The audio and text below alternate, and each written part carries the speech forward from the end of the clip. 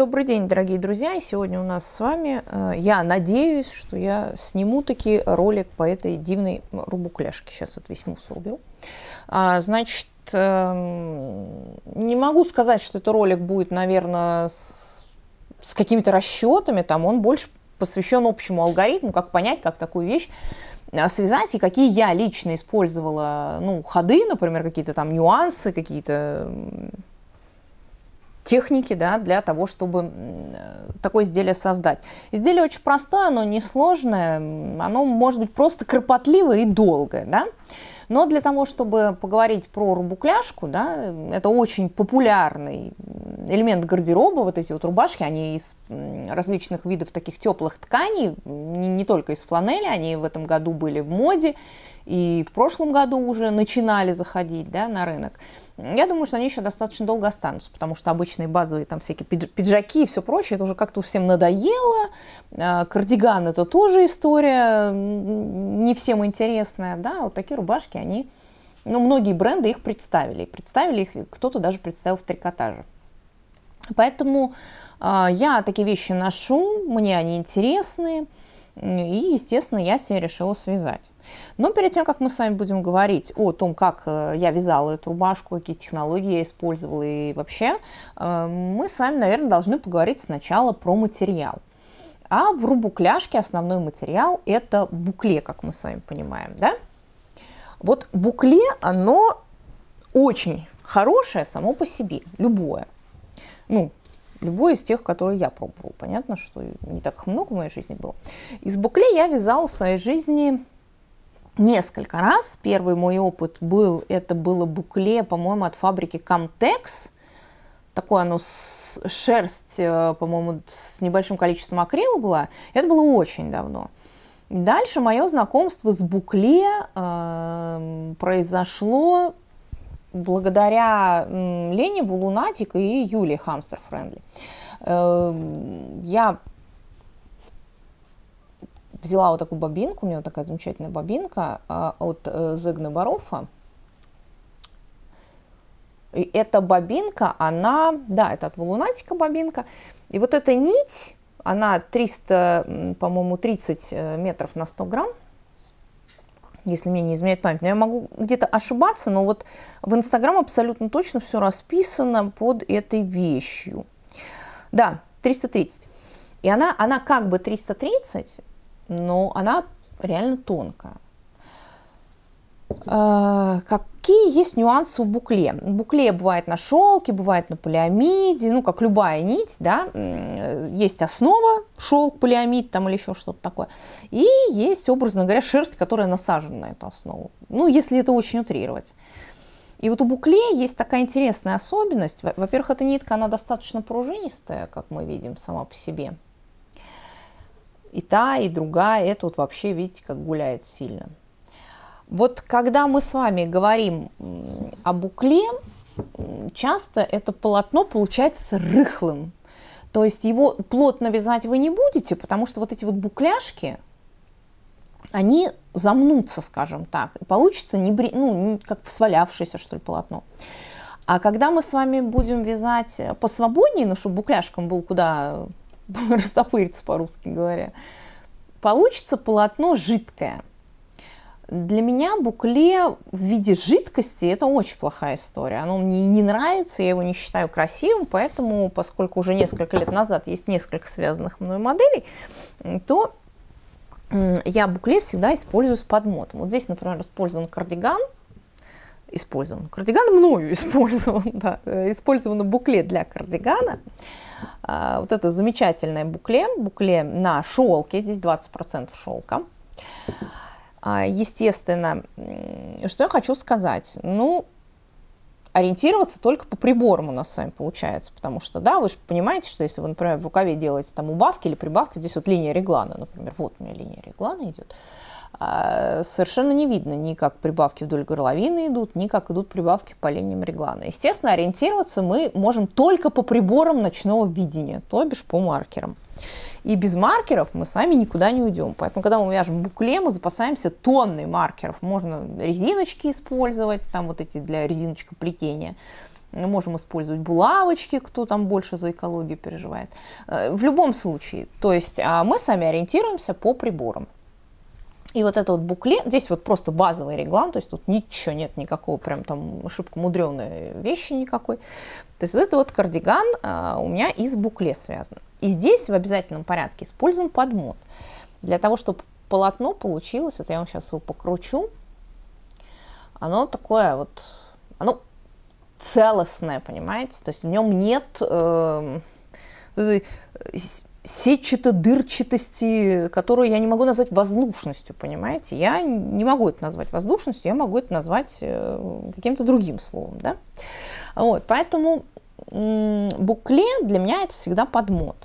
И, естественно, когда я вязала свою, э, ну, сначала вязала вот этот кардиган, потом я вязала рубукляшку, рубашку, а, я тоже брала подмот. Обратите под, внимание, что вот здесь вот подмот, да, под мод можете брать кашемир, меринос. Ну, то есть всегда надо исходить по логи, из логики, да.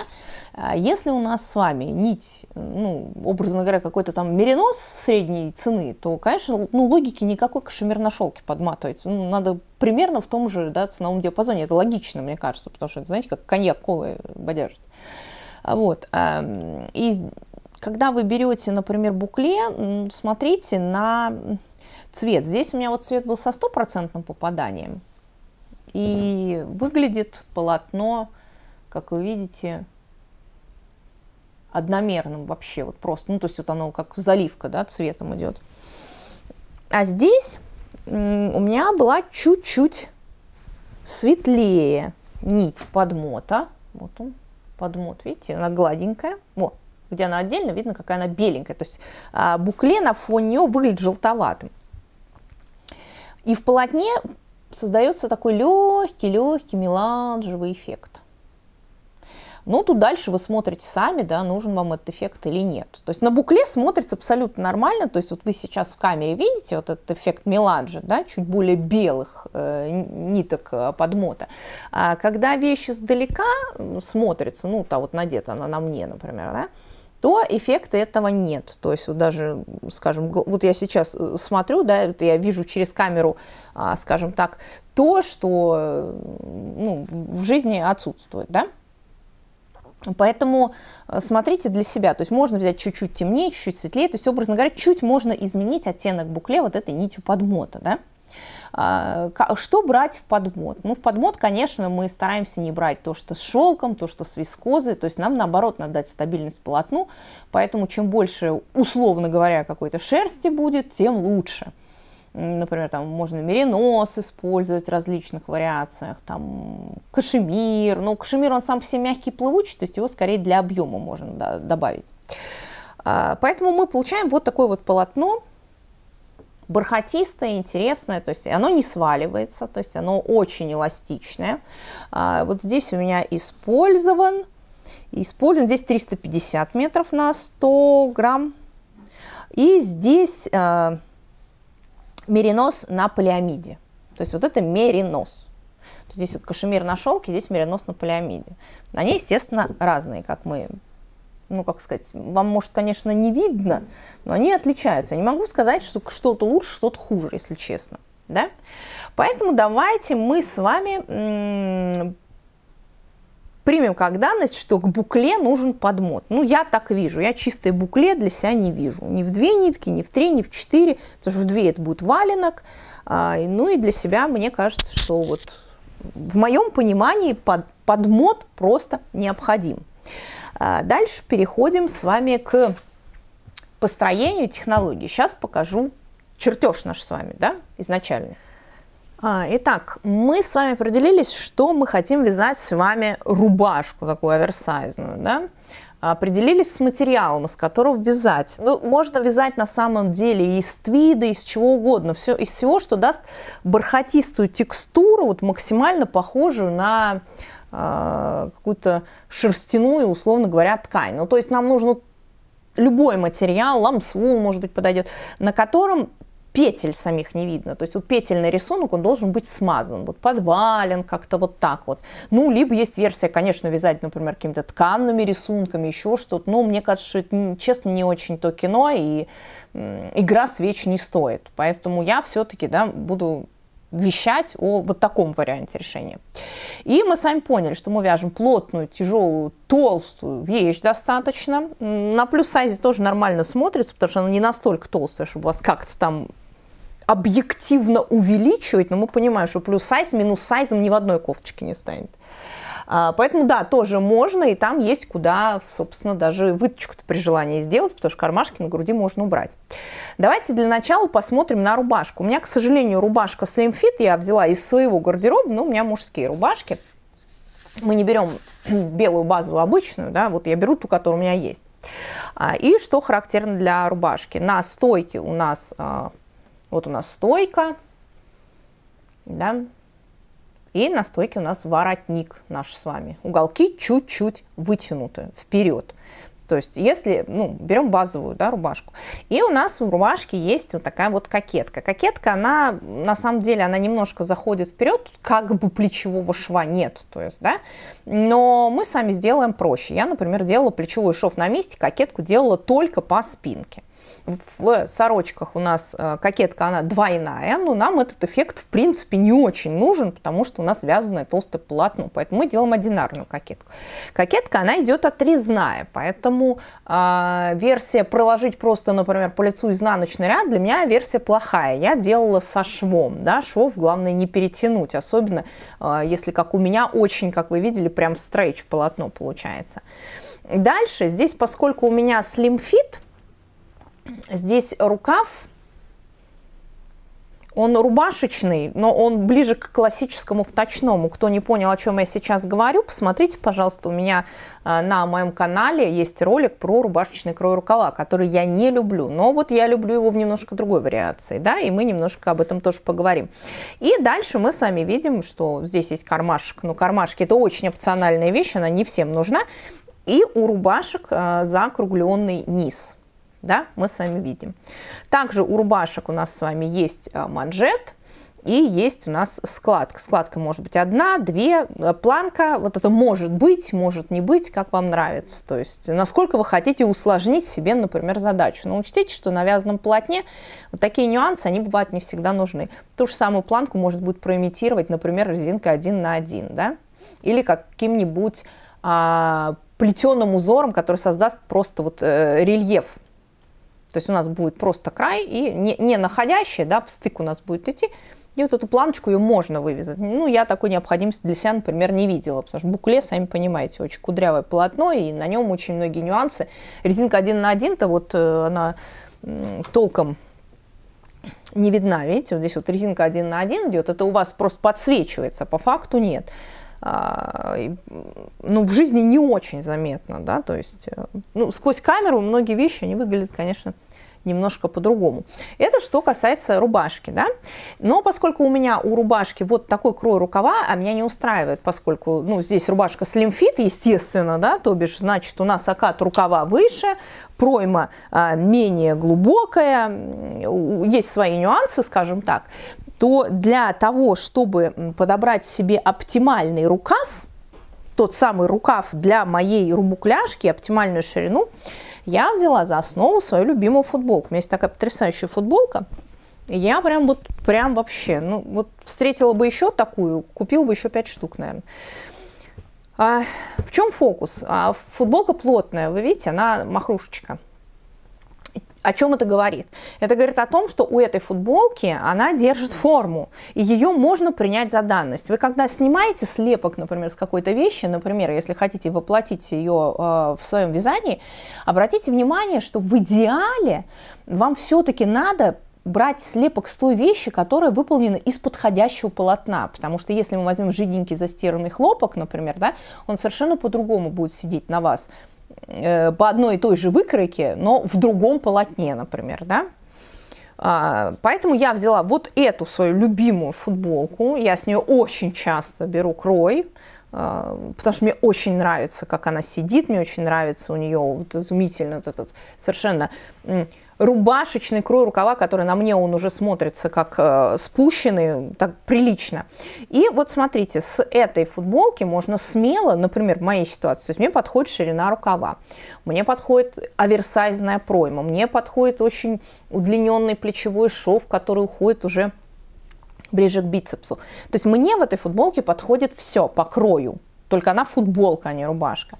Поэтому основной слепок по крою я беру с футболки. Вы мне скажете, а почему вы берете э, слепок с вещи, а не э, строите выкройку? Честно, я не вижу смысла. Вообще никакого. Объясняю почему. Построить выкройку можно. Вы будете, ну, во-первых, это надо обладать э, пункт А навыками конструирования одежды. Это пункт один. Пункт 2 – это достаточно точно уметь снимать себя мерки и оперировать этими понятиями. Это пункт 2. Это я к тому, что для того, чтобы уметь э, хорошо кроить и шить, надо обладать знаниями определенными далеко не у всех, кто вяжет, эти знания есть. И я, в принципе, наверное, могу смело о себе сказать, что я нахожусь в этом же числе. То есть я умею шить, я могу что-то сшить, но это не говорит о том, что я могу строить какие-то сложные, например, там выкройки и э, ими пользоваться. Есть готовые выкройки, да, есть... Э, различные школы, которые вот, э, учат э, эти выкройки делать. Есть готовые выкройки. Можно так сделать. Я, а повторюсь, я не вижу смысла, потому что если у меня есть вещь, которая сидит так, как мне нравится, мне все в ней нравится, зачем мне делать выкройку, когда я могу снять выкройку, условно говоря, с нее? Тем более я не пользуюсь, ну, знаете, не смокинг мы тут с вами изображаем, и поэтому я не вижу никакого для себя смысла строить какие-то выкройки. Мне достаточно хорошего технического рисунка. Для технического рисунка мы, соответственно, снимаем мерки. Да? То есть а, мы с вами снимаем мерку, то есть у нас должна быть ширина рукава. Ширина рукава нам нужна у проймы, вот здесь. Дальше а, нам нужна высота оката рукава, вот здесь. То есть, да, вот у нас ширина рукава и под прямым углом, чтобы у нас линейка лежала, то есть вот высота оката у нас с вами есть. У нас есть с вами да, э, глубина проймы, например. То есть мы с вами можем снять все вот эти ключевые мерки с готовой вещи. И, соответственно, перенести на технический рисунок и потом по нему уже рассчитать. А, это очень упрощает жизнь, я считаю. И для, например, начинающих вязальщиц, э, которые, ну, скажем так, ну, как я, не разделяют необходимости. То есть я, я понимаю, что читать выкройку необходимо, надо понимать, как это устроено, но для этого совершенно не обязательно уметь их как-то строить, например, да, э, самостоятельно. Потом надо понимать, что у нас фигуры у всех разные.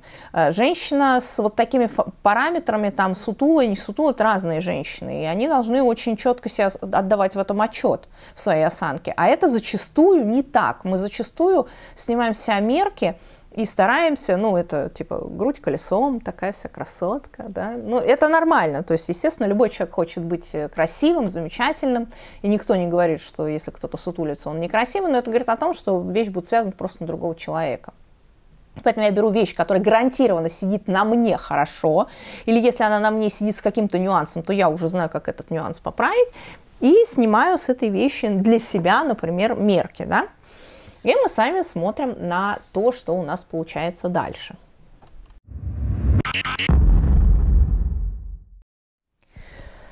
А дальше мы с вами составляем наш с вами технический рисунок нашей рубашки для того, чтобы понять, э, как мы ее будем вязать. Вязать мы будем снизу вверх, естественно, и рукав тоже снизу вверх. У нас э, все проймы сняты, то есть мы уже знаем, то есть это предварительный эскиз, как будет технически устроена наша вещь. То есть, например, удлинение центральной части спинки переда мы удлиненными рядами формируем, да? то есть сначала набирается полный ряд, мы возвращаемся к началу и дальше начинаем от начала двигаться удлиненными рядами к боковому шву. Дальше мы вяжем по прямой, дальше мы делаем часть а, углубления да, под, проймы нашей а, закрытием и немножечко убавок. Тем самым мы выходим на прямую часть проймы, вяжем по прямой И дальше там буквально единичные вот эти вот прибавки идут для того, чтобы вот здесь сформировать прямой угол у нас с вами. И тогда все сядет замечательно. Э, спинку мы разбиваем. Вот здесь вы можете просто закрыть по прямой спинку, и следующую часть спинки, кокетку, ее просто набрать. То есть набрать не с детали спинка, хотя есть и такая версия. Я бы рекомендовала просто набрать такое же количество, э, как в детали спинка, петель, да, и начать вязать вверх. Сформировать укоротами, например, скосы плеча. Э, и глубину горловины. Обратите внимание, что я промахнулся. Я всегда о своих ошибках вам честно рассказываю. То есть я с горловины промахнулся. У меня горловина, как вы видите, вот я сейчас картинку вставлю. Видите, горловина у меня большая. То есть теоретически можно все распустить, перевязать и, сделать горловину поменьше. Но я уже, честно говоря, не буду. То есть мне проще, наверное, отдать эту рубашку кому-нибудь, кто потолще. Вот прекрасно сюда влезают девчонки до 52 размера, вообще без проблем. Вот. А, и, соответственно, когда вы будете делать свою горловину, вы учтите, какого она размера должна быть. То есть, чтобы ее не распахать, как распахала я. То есть гипотетически ее можно поджать э, китлевкой горловину, да, когда она, если чуть она великовата, то есть ее чуть-чуть можно дожать будет э, китлевкой. Но в любом случае просчитайте, пожалуйста, свою ширину горловины заранее и глубину. Я все время боялась, что она будет маленькая-маленькая, знаете, потому что она смотрится же чудно, если у вас огромная рубашка и маленькая горловинка такая, ну это неправильно. А оказалось, что э, ну, нюансы бывают разные, и вот в моей ситуации распахал слишком сильно. Наша водолазка прекрасно мне как бы жить не мешает, но в целом, э, если бы я вязала вторую такую вещь, я бы, э, скажем так, ну, тщательнее бы, наверное, подошла к этому моменту, при том, что у меня она не изменилась после стирки значительно, то есть она как бы расправилась, я бы сказала, да, то есть горло, можно сказать, что горловина, она не растянулась, поэтому а, это исключительно промах в расчетах. Вот, а, разобрались, то есть горловину аккуратно просчитайте, пожалуйста, ширину и а, глубину горловины, чтобы она не была большой. Все, разобрались мы с вами, а, как выглядит у нас технический рисунок и как мы с вами будем вязать. Дальше мы с вами будем вязать а, рукав, да, и, соответственно, будем его сшивать с манжетом в конечном итоге. Вот у нас манжет, у нас есть рисунок. И приступим к нашему с вами вязанию. Да? Давайте с вами сначала будем вязать, э, например, спинку. Да? Со спинкой все просто. Давайте я разворачиваю изделие спинкой, и мы начинаем вязать. Все, оно не влезет, так у меня камера не отъедет, поэтому нам а, придется, скажем так, э, с вами довольствоваться тем, что а, есть. Я буду, поверьте мне на слово. А, значит так, у нас с вами есть а, набор. Я набирала просто набором длинный хвост. И обратите внимание, у меня в видео про лицевые изнаночные петли – на канале есть, как определить, ну, условно, лицевую сторону. Вот мне нравится, когда здесь такие, ну, как сказать, как изнаночный ряд, что ли, да? То есть э, вы лицевую сторону можете сделать разную. Понимаете? Вот мне нравится, что здесь у меня и закрытием это поддержано, рубчиками всякими. То есть, поэтому, смотрите, я сделала так, что у меня спинки изнаночных петель, вот это вот от набора, вот они, они стоят по лицу. Итак, мы с вами набираем наше число петель на спинку, то есть у меня изделие широкое, как мы видим, вот видите, какое широкое. Провязываем один ряд, возвращаемся к центральной части и дальше удлиненными рядами мы с вами надвязываем, соответственно, вот этот рубашечный хвостик. Единственное, что ну, не делайте его прям очень длинный. То есть, как вы видите, у меня этот рубашечный хвостик, ну, сантиметров 6 примерно, да. То есть, вот он такой. Он у вас даже как-то на камеру остреньким смотрится. В жизни он какой-то потупее. Вот. А, соответственно, мы с вами вяжем вяжем наверх. А кромочный край я делаю косичкой, потому что я делала наружные швы. То есть мне очень нравится, а, когда кромочный край косичкой и собрано, соответственно, у меня шов с изнанки, а по лицу идет этот декоративный шов. То есть я всю эту рубашку сделала такой немножечко небрежной, да, и сделала вот этот вот шов. И вот как мы с вами говорили, что мы с вами вяжем по прямой, по прямой до прой. Вот мы с вами дошли до пройм. Часть петель мы с вами закрываем. И здесь можно вот так вот убавками убрать, видите? То есть у меня расстояние. Ну, мне кажется, камера показывает резче, чем есть полотно на самом деле, поэтому вам должно быть видно. Здесь вот убавочками убрали и идем наверх. И идем наверх до кокетки. Вот наша с вами кокетка. Когда кокетку сшиваем, не забывайте, что вот здесь все должно тянуться. То есть вы довязали до кокетки, закрыли петли, набрали петли, э, отдельное полотно и связали верхнюю часть. Потом просто это все сшиваете, видите, у меня это сшито. То есть фокус такой же, вот сшито, видите. Вот она, пожалуйста. Кокетка. Кокетка просто сшита с основным полотном. То есть швом, естественно, наружу. То есть изнутри все выглядит гладко, а с лица, пожалуйста. То есть обычные все, обычные базовые трикотажные швы. Вот мы с вами связали спинку. Со спинкой проблем нет. Спинка это самое простое, что есть в рубашке, да, и э, с кокеткой тоже вопросов не возникает. То есть это просто продолжение спины, как бы вы просто разрезали бы, да. А дальше мы с вами начинаем вязать перед. А с передом, о, видите, смотрите, незаправленный хвостик нашелся, надо обрезать. А, в смысле, не обрезанный хвостик. Все помнят, да, что мы хвостики обрезаем после стирки. Немножко помялось, прям на самом деле в жизни-то оно так не выглядит. Ну ладно. А, по переду. По переду у нас две половинки. И вот давайте мы с вами про передние половинки поговорим отдельно. Итак, э, передняя половинка. У меня передняя половинка, она сделана была под планку с кнопками. Я вам сейчас объясняю. Вот смотрите. А, я здесь использовала отделение изнаночной петлей планки от основного полотна. Вот она изнаночная идет, а вот эта лицевая вытянутая. То есть один раз мы ее провязываем, один раз снимаем нить, соответственно, по изнаночной стороне. И точно такая же вытянутая петля, образно говоря, она идет, ну, как вторая кромочная. Здесь двойная кромочная идет, вытянутая петля, изнаночная и дальше полочка. Почему мы в самом начале говорим? Потому что мы начинаем отсюда вязать и вот так вот удлиненными рядами двигаемся в сторону бокового шва. Давайте будем вязать вот так половинку, ну ее и будет видно. Извините, что не отпарила. А, так, и мы сами вяжем. То есть а, киперную ленту я пришивала потом уже, она прям тон в тон попала, мне очень понравился этот ход, интересно получилось. Пришивала вручную, ручными стежками, то есть не на машинке. А, вязала, соответственно, до пройм. Помним, да, что по спине у нас пройма а, глубже на 2 сантиметра, чем по переду. И вот таким образом я довязала до самого верха. Укоротами, соответственно, сформулировала, сформировала а, скос плеча и углубление горловин по переду. Вот так вот вы смотрите, вроде бы и горловина небольшая, да? Она вот большая. И все.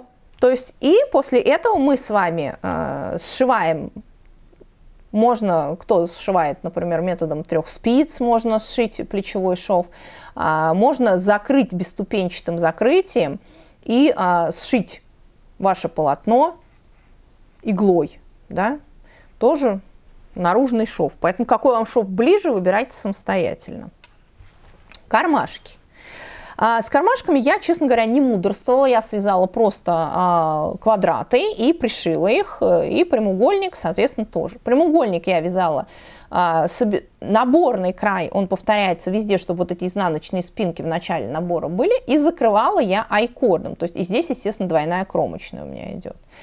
То есть двойная кромочная идет, как мы видим, и, соответственно, закрыто айкордом на две петли, чтобы он был не толстый, потому что этот же айкорд на две петли, он у меня повторен на моем воротничке.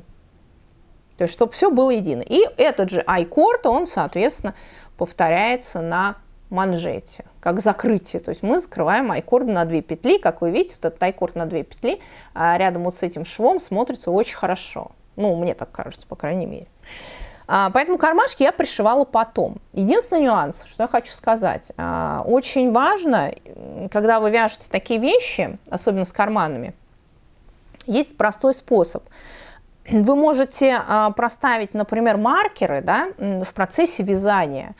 Не потом высчитывать там непонятные какие-то ряды и петли, а сразу проставить маркеры. Тем более, если вы вяжете, например, по четкому расчету, да, вы знаете, что, например, в каком-нибудь 150 ряду, то есть 10 петель, карман и еще там, например, 10 петель, условно, да, то есть вот вы эти маркеры должны повесить сразу на полотно, потому что когда вы уже вот это все свяжете, я, например, а, ну, скажем так, мучилась, чтобы их сделать ровно, то есть я их перекалывала несколько раз. А, поэтому сразу поставьте себе маркеры, чтобы четко уже вот прям петля в петлю попасть, чтобы потом вручную не мучиться, как я, и не выверять вот эти вот столбики петель, выискивать, да, чтобы у вас все было четко. То есть, поэтому этот момент, э, обратите внимание, он очень важный. Ну, мне так кажется, потому что кто не будет делать карманы, вообще проблем нет. То есть карманы э, это ну, нужная, наверное, вещь э, именно стилистически для вот этой вот рубашки.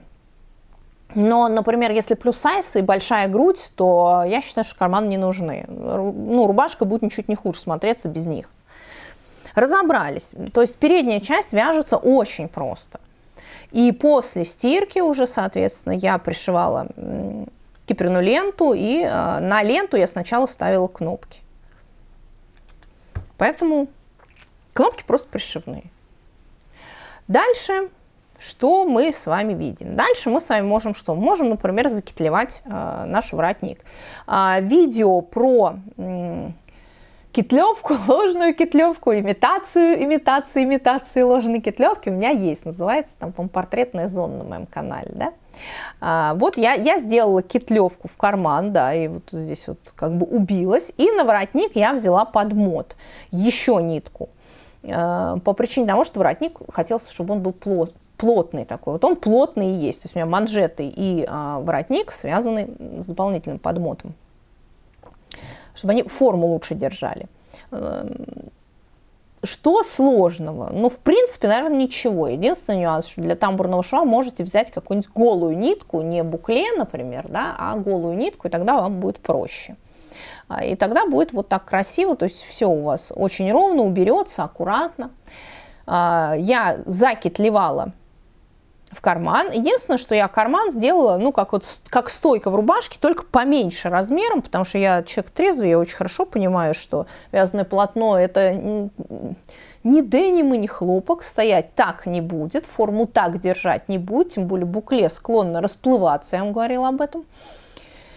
А, поэтому я сделала, образно говоря, китлевочный карман а, высотой в два раза условно выше обычного. И дальше просто объединила петли китлевочного кармана и да, стала вязать а, воротничок.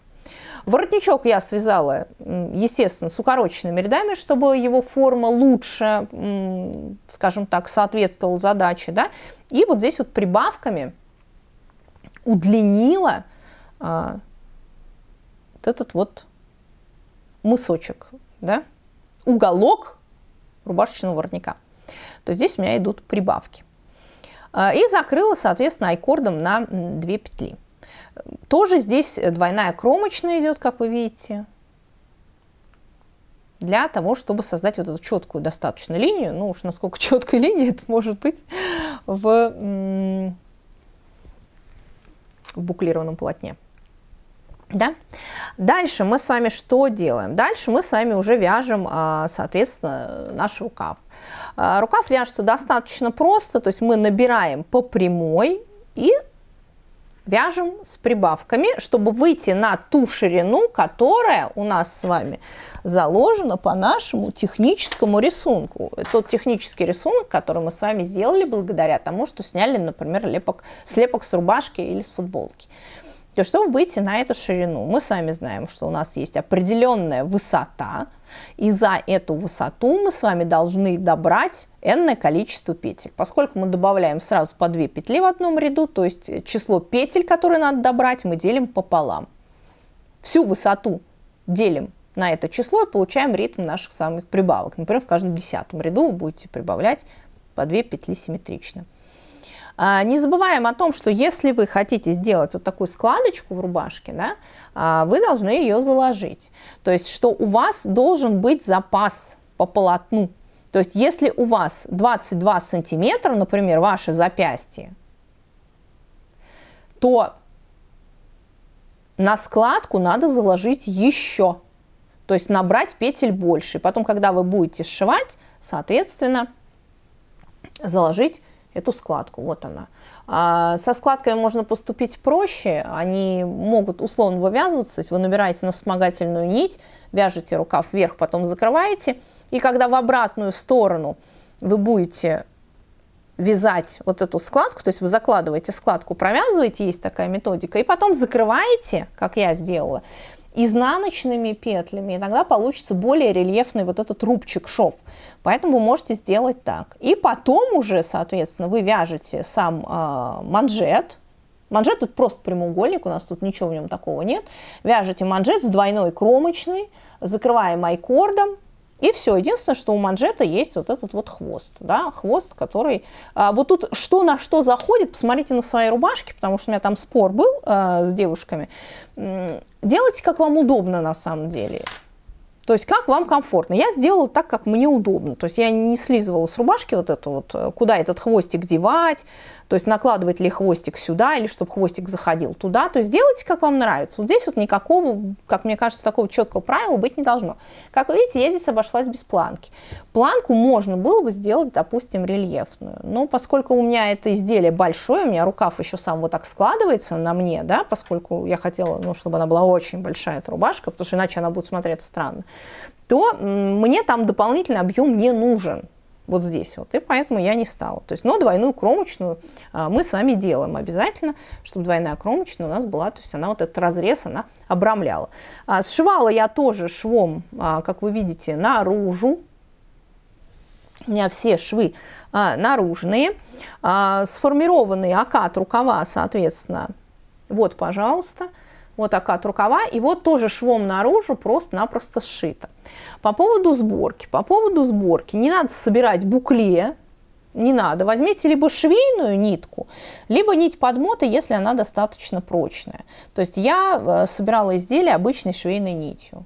То есть э, вот когда собираются такие толстые пряжи, не надо собирать э, той пряжи, которую вы вязали. Собирайте более тоненькой ниткой, будет очень аккуратно смотреться. Потом помню, что правильно выполненный шов, даже контрастной нитью, он не виден.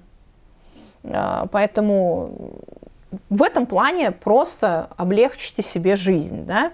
Обычной швейной ниткой спокойно все собираем. Или, повторюсь, можно, если швейных у вас нет, можно взять вязальную, но она должна быть, во-первых, достаточно плотная, и, соответственно, она должна быть ну, да, полностью в нашей ситуации в тон, потому что если где-то там а, букле все-таки, даже когда оно плотное, оно, на мой взгляд, ну, как бы рыхловато. Ну, нет, не рыхловато, нет, не могу сказать, что рыхловато, но все равно Лучше, короче, в тон берите нитку. Вот. И все. Дальше мы с вами а, стираем все наши детали, а, накалываем их с вами, кто хочет а, накалывать, кто не хочет накалывать, раскладывает аккуратно просто по размеру вашего технического рисунка. У вас, когда вы раскладываете ваши детали, у вас обязан совпать боковой шов по высоте, у вас обязаны э, совпадать э, плечевые швы по своей длине, если вы их не методом трех спиц закрывали, например, да. А, и, соответственно, когда вы рукав раскладываете, тоже симметрию рукава надо соблюсти, то есть, ну, чтобы не получилось, один край растянулся, я это имею в виду. А дальше вы отпариваете в идеале вот это изделие, потому что это плотное полотно, оно хорошо будет смотреться только если его отпарить. Я свое несколько раз отпаривала. Вы отпариваете, и когда остынет, начинаете собирать. То есть тихонечко, не спеша, это вообще дело очень долгое, очень нудное и занимает, мне кажется, не знаю, больше, чем вязание, наверное. И мы его собираем. Собираем совершенно спокойно этот наш объект да, э, вязания – обратите внимание, что какие-то вещи проще наметать контрастной нитью и потом спокойно сидеть собирать. Или сколоть специальными булавками, ну, кто пользуется, или такими, а есть такие пластмассовые прищепочки, да, которые ткань держат, например, кто пэтчворк шьет. Такими прищепочками можно зажимать э, изделия, да. Я предпочитаю скалывать, у меня от гаммы есть вот такие просто голубые, обычные, как топорик такая иголка, вот я этой иголкой чаще всего и пользуюсь. То есть я ими скалываю изделия и дальше сшиваю. Не спеша под хорошую музыку. собрали изделия наши, еще раз отпарили, да, и потом пришиваем уже э, кнопки булавки. Э, делать ли пуговицы или нет, вопрос открыт. То есть это вопрос вашего вкуса. Я, в принципе, не люблю пуговицы на вязаных вещах. Ну, они мне просто не нравятся сами по себе, вот эти вот петли, потому что я вязаные вещи, как вы видите, чаще всего ношу, ну, образно говоря, застегнутыми. То есть сейчас еще, тем более, пока сейчас модные тенденции такие, да, что у нас кардиган должен носиться как а, пуловер. Поэтому у меня вот застегнут. То есть, э, хотя тут есть петли, но я их не использую, потому что когда это расстегнуто, мне это не нравится. Но это опять мои какие-то личные тараканы. Пуговицы можно спокойно сделать.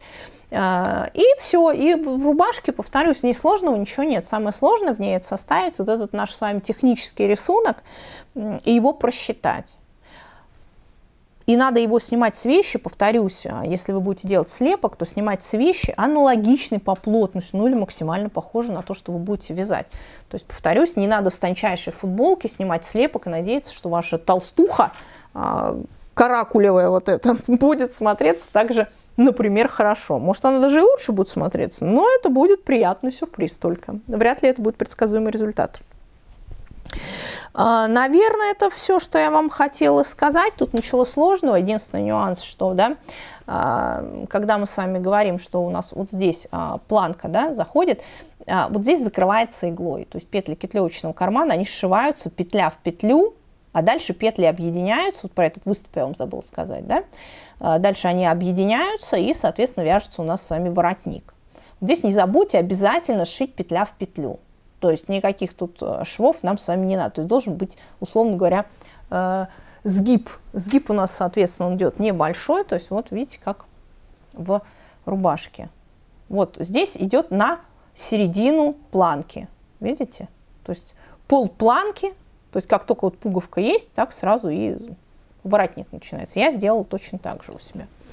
А, вещь получилась очень носибельная, очень интересная, такая актуальная. Ну, она такая, мне кажется, вне моды уже сейчас получилась. Поэтому а, свяжите себе, свяжите с удовольствием. Обязательно сделайте это лучше, чем я. То есть я всегда вам честно стараюсь рассказывать про свои какие-то ошибки, которые я допускаю, для того, чтобы вы их не допускали. Потому что в идеале, конечно, учиться на э, чужом опыте. Э, вяжите со мной, вяжите лучше меня и обязательно получайте при этом удовольствие. Пока-пока-пока.